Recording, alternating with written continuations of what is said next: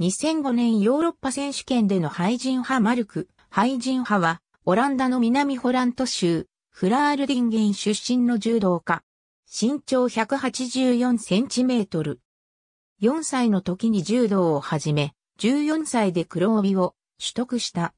1996年アトランタオリンピックから4大会連続オリンピック出場し、シドニーオリンピックで金メダルを獲得したのをはじめ、合計3個のメダルを獲得した。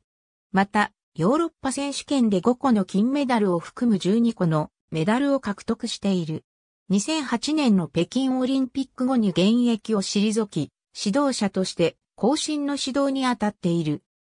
亀姿勢の相手の右から両足で、相手の右腕を挟む腕座足型のような体勢から、右足は挟むのを外し左足は、相手の右腕に絡めたまま、さらに相手の右足を抱えながら、右足で床を蹴って、相手もろとも前転し、相手を仰向けの状態に移行し、そこからそもそも込み技や腕座膝肩に持ち込むいわゆるハイジンハロールの使い手として知られる。